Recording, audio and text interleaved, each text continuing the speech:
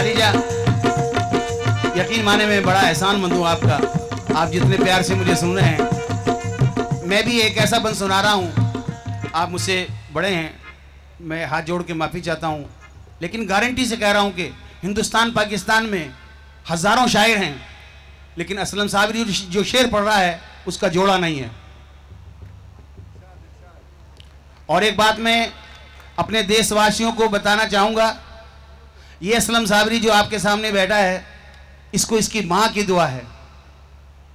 उस माँ की दुआ से 1979 21 जनवरी की रात को ये छोटा सा आदमी भारत माँ की इज़्ज़त आबरू कवाली की दुनिया में, लाहौर में 21 जनवरी की रात को फ़र्स्ट प्राइज लिया है मैंने वहाँ के कवालों के बीच में। और ये दोशाला जो मैं इस वक्त पहने बैठा हूँ, ये उस महफिल में मुझे इनाम में मिला था। 21 जनवरी 1979 की रात, और मैं पहला फनकार हूँ हिंदुस्तान का, जिसको पाकिस्तान रेडियो ने 1979 में रिले किया। अट्ठावन वर्ष में आज तक कोई फनकार वहाँ से रिले नहीं हो सका। यह बात मैंने इसलिए बताई है कि मेरा पूरा जज्बा, पूरी मेरी लगन इस देश के लिए है, क्योंकि इस धरती ने मुझे पाला है, मुझे पोषण दिया है, मेरा सब कुछ इस धरती के साथ है। और चार शेर में, हिंदुस्तान में असलम साबरी ने वो काम किया है, एजाज मिले ना मिले, लोगों के दिलों में मेरी इज़्ज़त और प्यार है, जहाँ मेरा गाना होता है, जहाँ तक नज़र जाती है, सामयीन होते हैं। यही मेरे लिए पद्म श्री है, पद्म भूषण है। लेकिन मैं चार चंद, मैंने खुदा की मेहरबानी से वो काम किया है। मैंने पाँच कैसेट ऑडियो वीडियो बनाए हैं इस देशभक्ति के लिए। उनके चंद अशार नमूने के तौर पे आपको सुनाऊँगा मैं। मुलायजा कीजिए। सिंदूर से यह मांग हमेशा सजी रहे। दीन धर्म की बात जबाए दीन धर्म की बात जबाए, धर्म मेरा इंसानी लिखना। दीन धर्म की बात जबाए धर्म मेरा इंसानी लिखना और जब भी मेरी कहानी लिखना, मुझको हिंदुस्तानी लिखना।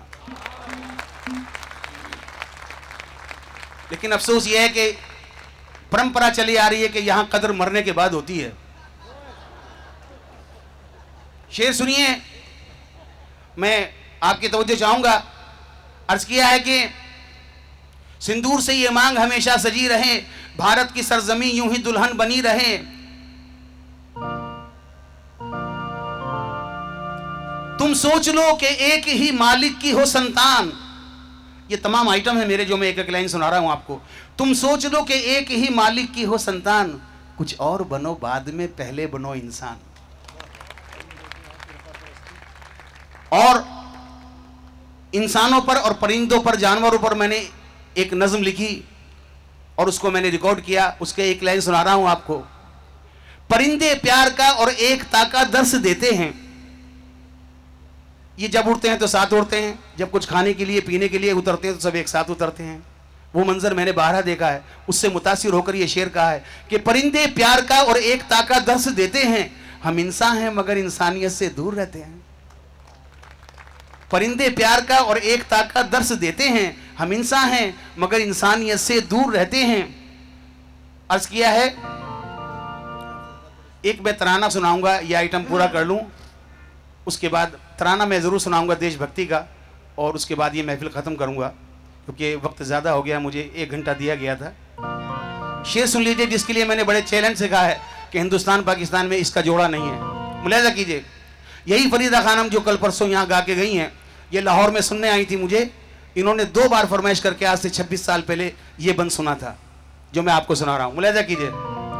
कि मीर जुल्फे संवारते थे तेरी मीर मीर जुल्फे संवारते थे तेरी, ताक तस्वीर उतारते थे तेरी। तुझको गालिब ने बरतरी बख्शी, और खुसरो ने नगमगी बख्शी। तुझको खैयाम मैं समझते थे, तान सैनिक ले समझते थे। जौको ज़फ़र ने ख्वाहिश की। तेरी मोमिन ने भी परस्तिश की।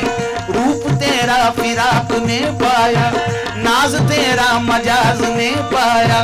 तूने बेखुद को बेखुदी बख्शी और फानी को ज़िंदगी बख्शी।